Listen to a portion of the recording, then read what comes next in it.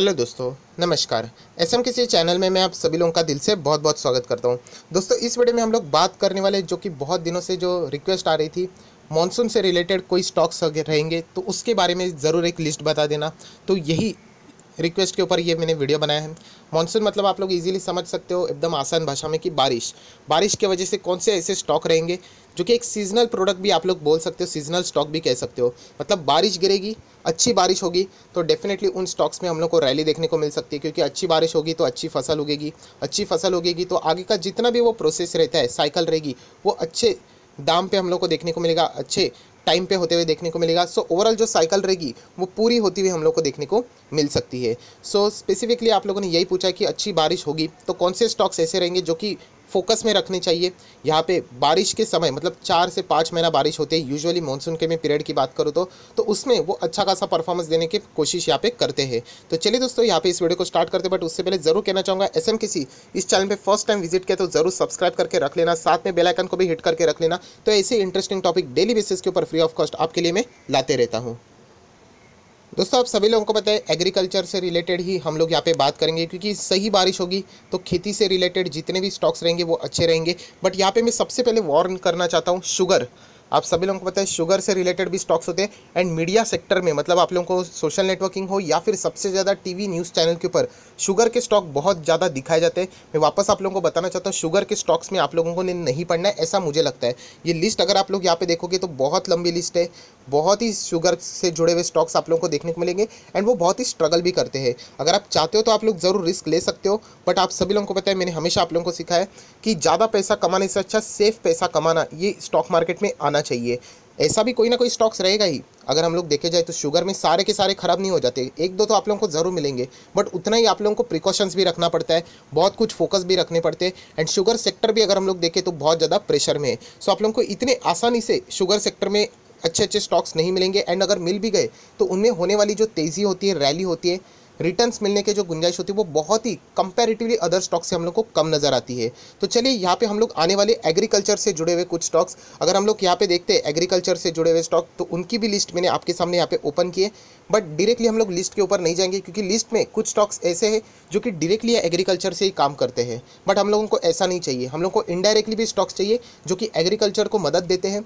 Plus उसी के साथ साथ वो सीज़न ख़त्म हो जाने के बाद भी वो स्टॉक्स अच्छा खासा आगे भी परफॉर्मेंस कर पाएँगे। तो ऐसे स्टॉक मैं आपके सामने यहाँ पे दिखा रहा हूँ। मतलब सीजनल भी मानसून का भी फ़ायदा ज़रूर होगा उनको बट मानसून ख़त्म हो जाने के बाद भी ये स्टॉक अच्छा खासा परफॉर्मेंस देने के चांसेस यहाँ पे बढ़ जाते हैं। तो चलिए यहाँ पे हम लोग स्टार्ट कर लेते हैं। सबसे पहले यहाँ पे मैं स्टॉक ओपन करूँगा, जो कि सीड से रिलेटेड है केमिकल सेक्टर से रिलेटेड है, जो कि बीच में मैंने इससे रिलेटेड भी आप लोगों को कुछ ना कुछ इन्फॉर्मेशन देती रैलीस इंडिया लिमिटेड यस दोस्तों ढाई सौ के आसपास स्टॉक देखने को मिल रहा है। मैं वापस कर रहा हूँ, मेरा कोई ये बाइंग का रिकमेंडेशन नहीं है सेल करने का रिकमेंडेशन नहीं है। आपको सिखाने का मकसद है एंड इसीलिए ये लिस्ट मैं आपके सामने यहाँ पे ओपन कर रहा हूँ। अगर कोई भी स्टॉक्स लेना है तो आप सभी लोग पता है, हम लोग सेवन स्टेप्स एप्लीकेबल करते हैं। उसके बाद आप लोग ज़रूर डिसाइड कर सकते हो। बट यहाँ पे सबसे बड़ी वार्निंग यही रहेगी कि कुछ स्टॉक्स ऐसे रहेंगे जो कि सीजनल बेस के ऊपर ही चलते तो इसीलिए आप लोगों ने ज़्यादा फोकस देना चाहिए। सो रैलीज इंडिया सीड्स के भी यहाँ पे अच्छा खासा यहाँ पे हम लोग को काम करते हुए देखने को मिलती है एंड केमिकल सेक्टर में भी ये कंपनी हम लोग को काम करते हुए देखने को मिल जाती है।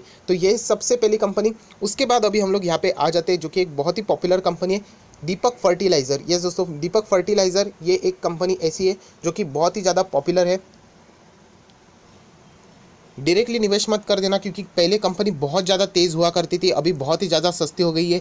लिस्ट में सर बता रहे, चलो, हम लोग कूद जाते ऐसा नहीं। ये सिर्फ़ मैं आप लोगों को लिस्ट बता रहा हूँ लिस्ट बहुत लंबी है। कुछ स्टॉक्स ऐसे रहेंगे जो कि वाकई में अच्छे हो सकते हैं। वहाँ पे मैं आप लोगों को ज़रूर मार्क करके बता दूँगा। सो दीपक फर्टिलाइज़र भी आप लोग ज़रूर फोकस में रख सकते हैं, जो कि मानसून के टाइम में हम लोग को अच्छा भागते हुए देखने को मिल जाता है। उसके बाद हम लोग बात करेंगे पी इंडस्ट्री यस ये स्टॉक हम लोग कह सकते हैं कि एक फंडामेंटली बहुत ही स्ट्रॉन्ग नज़र आ रहे हैं, जो हमारे सेवन पैरामीटर्स है, जैसे मैं हमेशा कहता हूँ। कोई भी शेयर सिलेक्ट करने से पहले सात चीज़ें चेक करनी होती है। उसमें ये स्टॉक हम लोगों को फिट होते हुए कंपेरेटिवली देखने को मिलता है। इससे रिलेटेड मैंने डिटेल में वीडियो भी बना दिया था आप ऊपर आई बटन पर क्लिक करके देख सकते हो। इसी स्टॉक से रिलेटेड उसके बाद भी ये स्टॉक हम लोग को कंसिस्टेंटली भागते हुए देखने को मिल रहा है। सो so, स्टॉक है तो गजब का मैक्सिमम चार्ट पैटर्न भी अगर आप लोग यहाँ पे देखोगे तो एक बात ज़रूर बताता है कि लॉन्ग टर्म के लिए इस काम बहुत ही अच्छा खासा कर सकता है। मतलब मानसून का तो फ़ायदा ज़रूर मिलेगा इसको बट उसी के साथ साथ मानसून ख़त्म हो जाने के बाद भी ये कंपनी काम करती है। ऐसा नहीं कि मानसून खत्म हो गया तो नीचे आ गया तो ऐसे स्टॉक नीचे है तो ये एक स्टॉक है जिसके ऊपर आप लोगों ने कड़ी नज़र रखनी चाहिए। बीच में जैसे मैंने कहा वीडियो भी सेपरेट बना दिया। ऊपर आई बटन पे आप लोगों को वो वाला वीडियो मिल जाएगा, जहाँ पे डिटेल एनालिसिस फंडामेंटल एनालिसिस आप लोगों को करके मिल चुकी है। सो पीआई इंडस्ट्री के बाद अगर हम लोग यहाँ पे आएँगे निफ्टी फिफ्टी वाला कोई स्टॉक है तो UPL limited Indian company hundred और ये कंपनी सिर्फ़ इंडिया में काम नहीं करती, विदेश में भी काम करती है। इसका अर्थ ये नहीं कि जंप कर लो, ये शेयर कोई मेरे पोर्टफोलियो में नहीं है बट स्टिल आप लोगों को सिर्फ़ मैं बताने की कोशिश कर रहा हूँ। सो यूपीएल लिमिटेड ये भी एग्रीकल्चर से ही जुड़ा हुआ डायरेक्टली एंड इनडायरेक्टली वाले स्टॉक है, जो कि आगे भी परफॉर्मेंस देने के अच्छे खासे यहाँ पे चांसेस बढ़ जाते हैं। उसके बाद एस्कॉट यस ये एक ऐसा स्टॉक है जो कि मैंने कल के वीडियो में भी आप लोगों को बताया था कि ऑटो सेक्टर में ट्रैक्टर ये एक ऐसा सेक्टर है जो कि बहुत ज़्यादा डिमांड में रहेगा एग्रीकल्चर से रिलेटेड उसी के साथ साथ पीएम ने जो हमारे प्राइम मिनिस्टर है, उसी के साथ साथ फाइनेंस मिनिस्टर भी है। उन दोनों की अगर हम लोग बात देखें तो एग्रीकल्चर को बहुत ज़्यादा बढ़ावा दिया गया है, बहुत कुछ मदद भी की जाएगी। तो ज़रूर हम लोग कह सकते हैं कि ये कोई फ़ार्मिंग से रिलेटेड नहीं है बट स्कॉट क्या करती है? ट्रैक्टर बनाती है। तो डायरेक्टली ना इनडायरेक्टली हम लोग को एग्रीकल्चर से ही जुड़ता हुआ ये स्टॉक देखने को मिल रहा है। एंड इसीलिए स्कॉट जो हम लोगों को बीच में तीन डिजिट में देखने को मिल रहा था, तब से मैंने आप लोगों को कहा था कि इसके ऊपर नज़र रखो।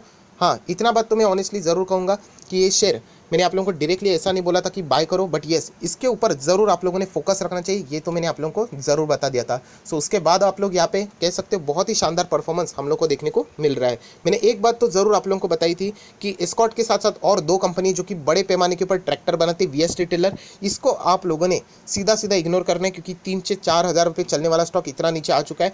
एंड और एक स्टॉक कोई है तो महिंद्रा एंड महिंद्रा ये सिर्फ़ ट्रैक्टर नहीं बनाता और भी यहाँ पे हम लोग को कमर्शियल व्हीकल्स भी बनाते हुए देखने को मिल जाता है।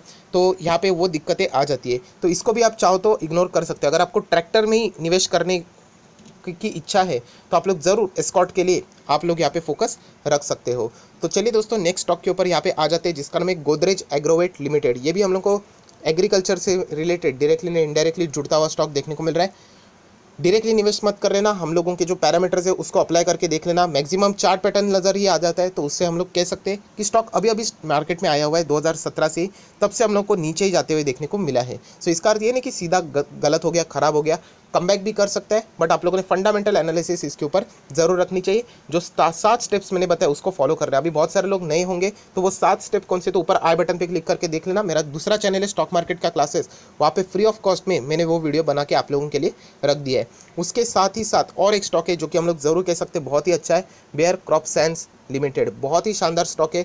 जब मैंने पुराने टाइम वीडियो बना दिया था, लगभग पाँच हज़ार पाँच सौ, पाँच हज़ार छः सौ के आसपास था, अभी लगभग पाँच हज़ार सात सौ अस्सी या फिर आठ सौ के आसपास जा चुका है।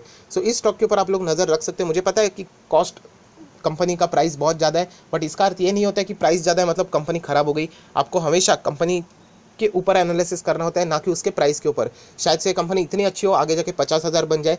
तो ये चीज़ हमेशा याद रखना कंपनी के बिज़नेस के ऊपर कंपनी के नाम के ऊपर कंपनी करती क्या है उसके ऊपर फोकस होना चाहिए ना कि उसके प्राइस के ऊपर। सो so, ये इंपॉर्टेंट चीज़ है जो कि मैंने ये भी चीज़ आप लोगों को रिटेल निवेशकों को सिखा दी थी। उसी के साथ साथ थोड़ा सा हम लोग और आगे जाते हैं तो आप लोग देख सकते हैं कोरोमंडल इंटरनेशनल लिमिटेड ये स्टॉक के ऊपर भी आप लोगों ने ज़रूर फोकस रखनी चाहिए जो कि हम लोग को मानसून से रिलेटेड डायरेक्टली ने इनडायरेक्टली लिंक होते हुए देखने को मिलता रहता है।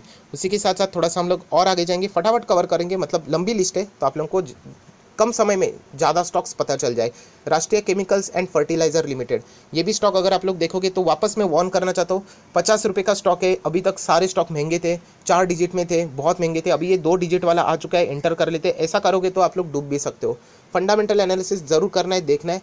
जैसे मैंने कहा कि मानसून से रिलेटेड आपकी जो रिक्वेस्ट थी, वो मैंने स्टॉक्स आपके सामने यहाँ पे रख दिए। एग्रीकल्चर से रिलेटेड केमिकल फर्टिलाइजरिंग से रिलेटेड ये कंपनी काम करती है, जो कि अच्छा परफॉर्मेंस हम लोग को मानसून के पीरियड में देते हुए देखने को मिल सकता है। एंड जैसे आप लोगों को मैंने बताया कि एग्रीकल्चर से और जुड़े हुए डायरेक्टली जुड़े हुए और भी अलग अलग स्टॉक है, जिनका नाम आप लोग यहाँ पे देख सकते हो। कावेरी सीड्स है, आप लोग यहाँ पे पढ़ सकते हो। उसी के साथ साथ जेके एग्री जेनेटिक वो भी यहाँ पे हम लोगों को देखने को मिल रहा है। अगर हम लोग और नीचे जाए तो टी से रिलेटेड बहुत सारे हम लोगों को स्टॉक देखने को मिल रहा है। मंगलम सीड्स हम लोगों को स्टॉक देखने को मिल रहा है। ये सारे शेयर्स हम लोगों को यहाँ पे डायरेक्टली एग्रीकल्चर से जुड़ते हुए देखने को मिल रहे हैं। बट उसी के साथ साथ जैसे मैंने कहा कि हम लोग को ऐसे भी स्टॉक चाहिए कि मानसून एग्रीकल्चर को ही सिर्फ़ फॉलो न करते हुए आगे भी लॉन्ग टर्म में फॉलो करें। तो उसके लिए ये लिस्ट मैंने आप लोगों को बता दी। एंड जहाँ पे मैंने मार्क करके आपको बताया, उन शेयर्स के ऊपर आप लोगों ने खास ध्यान देना चाहिए। चाहे तो आप लोग वहाँ पे वॉच लिस्ट भी बना के उसके ऊपर स्टडी भी कर सकते हो। बट याद रखना दोस्तों वीडियो को जाते जाते भी ये चीज़ ज़रूर दोबारा याद दिलाना चाहता हूँ कि बहुत बड़ी गलती हो जाती है। बहुत सारे लोग शुगर सेक्टर में यहाँ पे जो स्टॉक्स है, उनमें निवेश करते हैं। क्योंकि टीवी के ऊपर इसका बहुत ज़्यादा चर्चा होता है। मैं वापस कह रहा हूँ, शुगर सेक्टर में ज़्यादा दम नहीं है। एक दो कोई स्टॉक रहेंगे तो वो है, बाकी सारे के सारे हम लोग को पिटे हुए नज़र आएँगे। बहुत ही मिड कैप से भी नीचे वाले स्टॉक है, जहाँ पे रिस्क बहुत ही ज़्यादा रहती है। एंड अगर वो चल भी जाते हैं तो बहुत ही रेयरली कभी चलते हैं न्यूज़ बेस कभी आ जाता है, तभी वो चलते हैं। सरकार कभी मदद करेगी तो उसके बेस के ऊपर ट्रेडिंग के हिसाब से, एक दिन के लिए ट्रेडिंग इंट्राडे के लिए ट्रेडिंग जब न्यूज़ आती है, तभी ठीक है। अगर आप लॉन्ग टर्म के लिए सोचते हो तो इतना दम इस सेक्टर में इतना मज़ा नहीं आता है। अगर आप चाहो तो आप लोग निवेश कर सकते हो, मैं आपको रोकूँगा नहीं बट ये मेरे पॉइंट ऑफ़ व्यू से जो चीज़ थी, वो मैंने आप लोगों को यहाँ पे बता दी है। सो so, आयो भाषा करता हूँ दोस्तों जितने भी स्टॉक्स थे यहाँ पे एग्रीकल्चर से जुड़े हुए जो कि हम लोग कह सकते हैं क्योंकि मानसून जो होता है वो सबसे ज़्यादा जो इम्पैक्ट लाता है वो एग्रीकल्चर से जुड़े हुए स्टॉक्स को ही यहाँ पे लेके आता है। एंड जितने भी एग्रीकल्चर से रिलेटेड डायरेक्टली नहीं एंड इनडायरेक्टली जो स्टॉक्स थे वो मैंने आप लोगों को यहाँ पे बता दिए। डिस्क्लेमर ज़रूर देना चाहूँगा प्लीज़ डायरेक्टली निवेश मत कर लेना अपनी खुद की स्टडी कर लेना ये सबसे ज़्यादा इंपॉर्टेंट रहता है। खुद भी स्टडी करोगे और सही जाओगे तो अच्छा रहेगा, गलत जाओगे तो एटलीस्ट आपके पास एक्सपीरियंस रहेगा। बट अगर आप सिर्फ़ किसी को ब्लाइंडली फॉलो करके, मुझे भी ब्लाइंडली फॉलो करके, अगर आप सही भी जाते हो तो उसका कोई फ़ायदा नहीं एंड गलत जाओगे तो भी उसका कोई फ़ायदा नहीं, क्योंकि आपके पास एक्सपीरियंस भी नहीं रहेगा। सो कुछ ना कुछ गेन करना है तो अपने बलबूते के ऊपर करना होता है। एंड इसलिए ये स्टॉक्स की लिस्ट मैंने आप लोगों को बता दी है।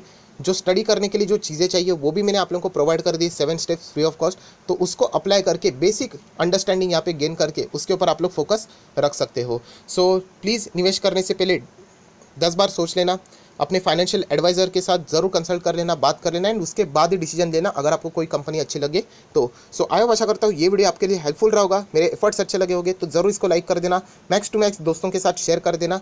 So that's it thank you very much दोस्तों. We will be meeting next video तब तक के लिए बाय बाय